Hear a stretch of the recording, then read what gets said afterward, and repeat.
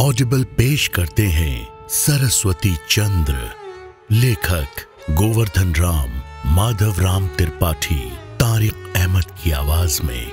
Sound design Tariq Ahmad. Created by Daily Dose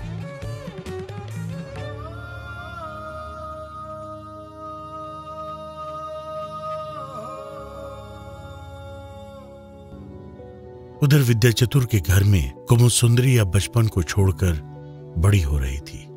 वो धीमे धीमे नौजवानी की राह पे कदम रख रही थी। बचपन से माँ पिता के मुँह से सरस्वती चंद्र का ज़िक्र सुनते सुनते वो कितना कुछ तो जान चुकी थी। एक दिन उसका मन हुआ कि वो पिता के कमरे में जाकर वो खत पढ़ ले, जो सरस्वती चंद्र ने विद्या चतुर को लिखा था। आखिर उन खतों को पढ़ने में क्या बुराई है? इन्हें उसके होने वाले पति ने लिखा है।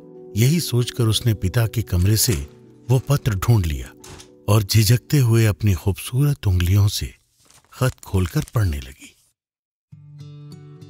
सरस्वती चंद्र के मोती जैसे शब्द उसकी भाषा और लिखावट पर वो मोहित हो गई। सोचने लगी, क्या ऐसा पत्र कभी मेरे लिए भी आएगा?